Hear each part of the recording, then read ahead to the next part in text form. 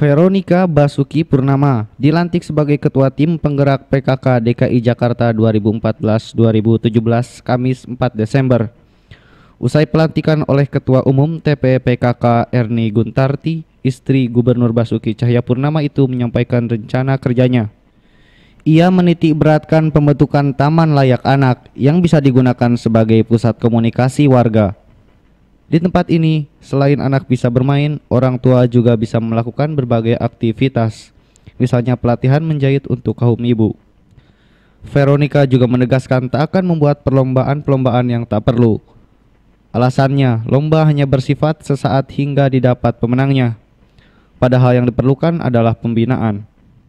Karenanya, sistem yang paling tepat adalah pemberian penghargaan pada wilayah yang berprestasi.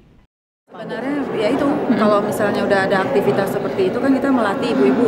Anak-anak juga mereka udah ada kegiatannya. Kalau lomba itu kan hanya sesaat. Lomba itu juga hanya juara satu dua tiga empat lima enam. Jadi itu nggak merata.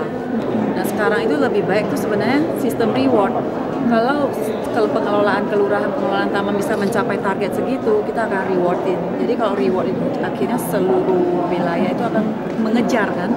Mengejar prestasi seperti itu. Jadi semua orang akan berlomba-lomba. Eka Pradana Poskota TV melaporkan